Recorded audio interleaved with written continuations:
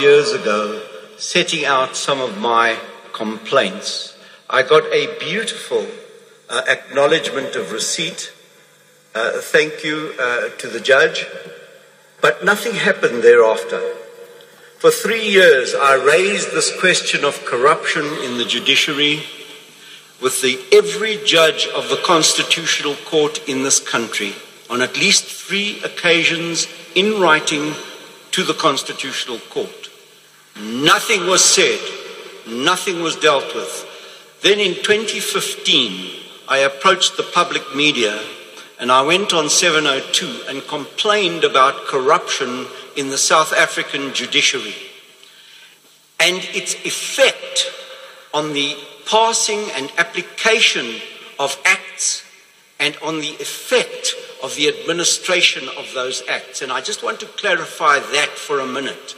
There are three levels of government in a democracy. There is the parliament, which makes the law. There is the uh, uh, government or executive, which administers the law. And there is the judiciary, which applies the law. Now, yesterday and today, I've heard all sorts of complaints about how the laws are not working. And they blame the government and they blame parliament. But the, the area who is obliged to apply the law is the court system, the legal system. And no one says a word about it. No one says a word about it. I have lots of information about corruption in the South African judiciary. No one wants to talk to me. And that's why I thank the panel for this short uh, uh, uh opportunity to talk. I want to get a bit more specific. In December 2014, the government passed an act called the um, Superior Courts Act. It is a wonderful act. It is easy to understand and easy to apply. First of all, there are areas of the courts that refuse to apply sections of this act, and I've come across it personally. Secondly, hidden at the back of the act, where no one gets to when they read it, is section 47. Now, section 47 is a word for word reenactment of an apartheid law which protects corrupt judges. That law, I call on the panel don't repeal it tomorrow, repeal it yesterday. That law is preventing people from bringing corrupt judges to book. It needs to be repealed.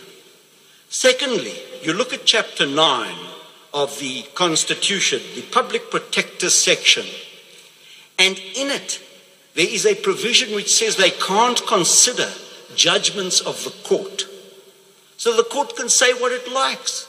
There is no uh, uh, uh, responsibility in, in, in, in the court system. They know they can't be attacked. Repeal that section. Repeal it. Now, people might argue, no, you need two thirds or whatever. Tell Parliament on a 51% vote, repeal the section in Chapter 9 under the Public Protector which says they can't look at corrupt judgments. The third part is the question of removal of judges from the bench. Now, no one knows because no one talks about it. Our constitution says we can remove judges who are corrupt for misconduct and for incompetence and various other reasons. It's in chapter 8 of the constitution under a large heading called removal.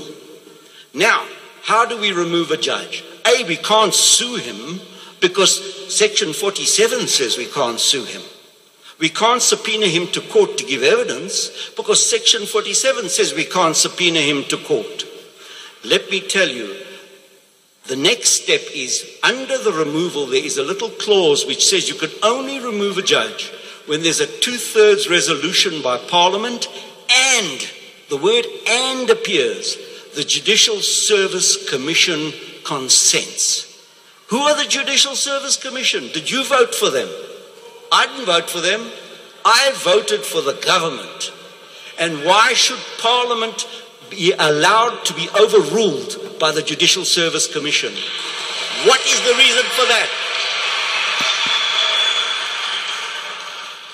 In a, in a word, it's a disgrace. And that is a slap in the face of democracy. No one voted for the Judicial Service Commission. There are people on the Judicial Service Commission collaborating with judges to identify and attack individuals that they don't like.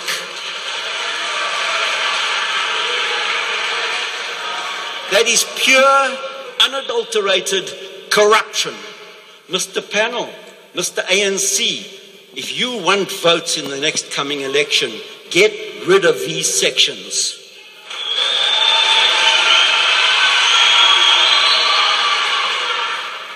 Now, let me follow up on a little bit further uh, from my initial story, where we got to the uh, being uh, making representations uh, to the uh, uh, to the Constitutional Court. Subsequent to three years of doing that without any results, I then went to the Human Rights Commission and made submissions that supplied them with documentation of corruption.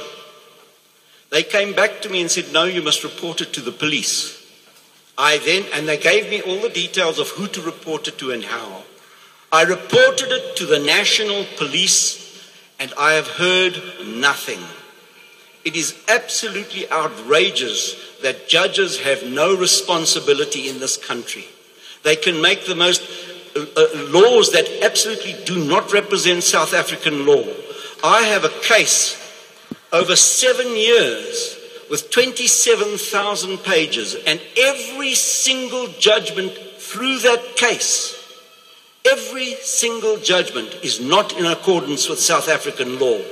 And then our Chief Justice says, even if your judgment is wrong, you must comply with it. Absolutely not. If your judgment is wrong, tear it up, put it in the dustbin, and if they try to come to your house to execute, fight with them.